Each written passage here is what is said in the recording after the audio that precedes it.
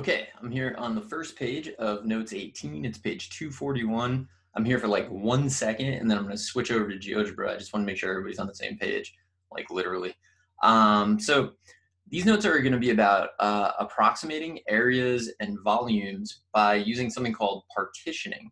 And so uh, the basic idea, as I've always kind of like thought about it, although there's a better way of thinking about it now, maybe depending on what you watch on TV, um, or streaming or whatever is as you increase the levels in a ziggurat so that's like a mesoamerican type of pyramid was very common has like it looks like a cake with lots of layers.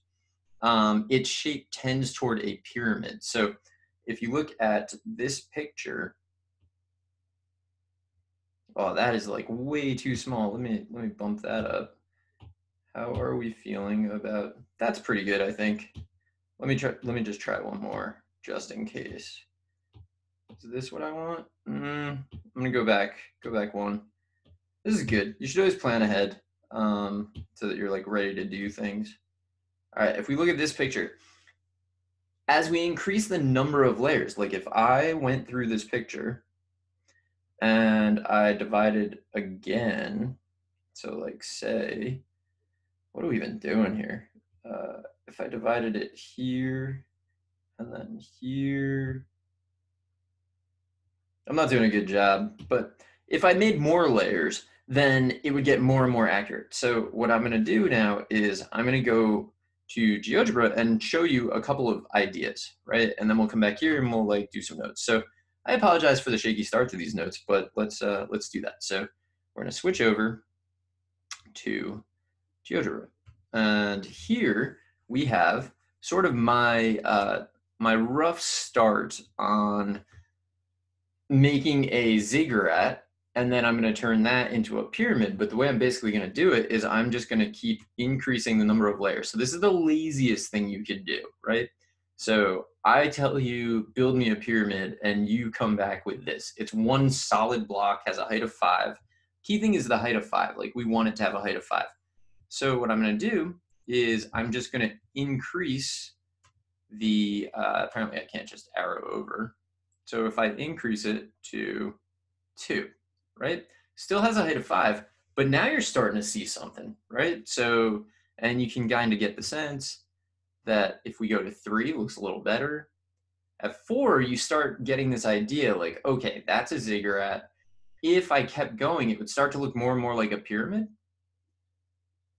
always using the same height. The height is five, that's constant. So we're up to 28 layers. Let's go to 50 layers. Here's 50 layers, almost indistinguishable from a pyramid. So if I wanted to approximate the volume of this pyramid, all I would need to do is find the volume of each of those layers. But what are each of those layers? Each of those is just a rectangular prism. And that's pretty basic to find the area, the volume of, I should say. I don't know if I'm saying volume all the way through this, who knows.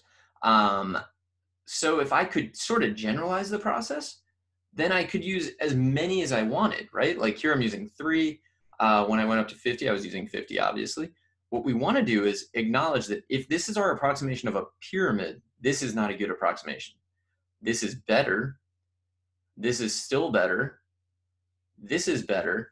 If we could go to infinity, have an infinite number of slices, we would actually get the exact value of the volume of this pyramid. And that's kind of where we're headed with these notes. So that's the first idea, is that we can take a shape, slice it up into easier to deal with shapes, and add up all of their volumes, and it'll give us the total volume, or an approximation, I should say. If we had an infinite number, we'd get the exact value. And that is nuts. That's like the basis of calculus.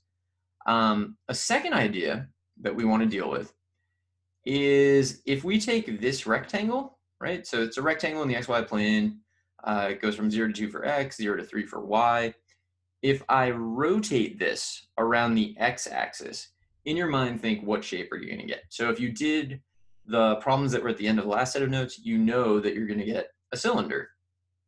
So let's just see that happen right? So what I'm going to do is I'm going to rotate. So I'm, it's, it's linked to theta.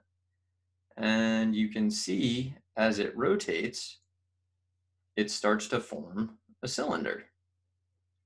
Now this is gonna be useful because what we're gonna really do is we're gonna take a lot of things and rotate them around the x-axis. And when we do that, you're always gonna get these cylindrical, well, circular cross sections. And we can approximate the volume by making cylinders and just find the volume of the cylinders. So that's a big idea. And let's see that in action before we like jump in and actually do some problems. So here, uh, I'm gonna make one rectangle. I'm gonna try. There's one rectangle. I take that rectangle, I rotate it around the axis, and what I'm claiming is that I'm approximating the volume or the solid that I get when I rotate this curve. So really it's just this lower little part. So one of anything is probably gonna be a bad approximation. We can rotate this and you can see like, yeah, that's a terrible approximation. But what if we use two? Honestly, until you use a lot, it's still a bad approximation. Um, but you can see that every time I add a layer, so I'm adding more rectangles, I get less wrong. And so ultimately, I'd like to add an infinite number of rectangles because then I will not be wrong at all. And you can see it's kind of filling in. You got a lot of rectangles there. So we don't want, we want to come up with a generalization. We don't want to have to deal with each individual one. This is so much that it's hard to rotate it. But if I rotate this, you can basically see the shape. And then if you did the last set of notes, you can actually come up with an equation for this surface. Um, and so I did that, and it's here. So click that. Let me turn off some things. Turn this off.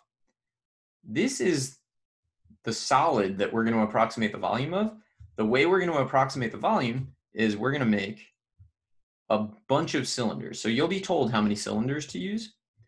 So in the XY plane, it looks like you're making rectangles, but you're actually taking the rectangle and rotating it. So for this rectangle, the radius of the cylinder that you get is three. The height of the cylinder is, it looks like one half because we are making six rectangles and you go from zero to three. So three minus zero is three. That's the distance along the x-axis. Divide by six, you get one half. So each is one half high. And the radius is always just the right endpoint of this interval, right? So you go from zero to 0.5, find the height of 0.5. 0.5 to 1, find the height at 1. The height is the radius, I should say. Um, you go from 1 to 1.5, find the radius at 1.5, 1.5 to 2, and you just keep going. So that's what we're interested in doing. And what I'm going to do is cut this video here and come back and do a bunch of things in the notes that are a little more concrete. So we'll get numerical values and things like that.